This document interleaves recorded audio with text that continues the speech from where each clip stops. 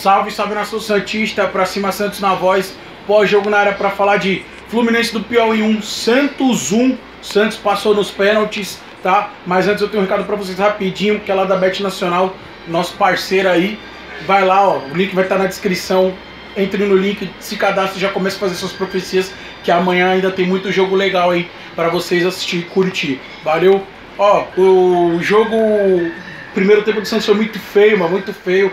Eu acho que vai ser um, um dos pós-jogos mais rápidos aqui que eu já fiz. Primeiro tempo do Santos foi muito feio, muito feio, deixou a desejar. Aí veio no segundo tempo com duas mudanças, o uniforme e mais as duas substituições. Então foram três mudanças. É, o Santos deu uma melhorada.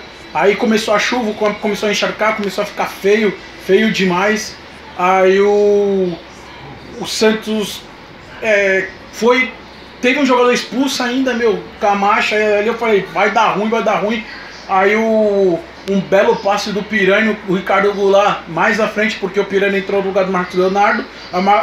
O Goulart foi mais à frente, aí ele foi lá e fez o gol, tirando do goleiro ali. Aí vamos pros pênaltis, mano. Pênaltis é aquilo. É loteria, é sorte, competência, é tudo. E o Santos teve. É, cobrou boas cobranças, só acho que a do Lucas Pires não foi tão boa, mas ele bateu forte, o goleiro não pegou. E, e destacar a molecada aqui no Pipocou na hora de bater o pênalti, né? Bateu com segurança, fez os gols e o Santos passou. Detalhe que os caras errou duas cobranças, duas na trave, no travessão e o Santos passou, mano. É, o jogo foi feio? Foi feio. Mas o Santos passou.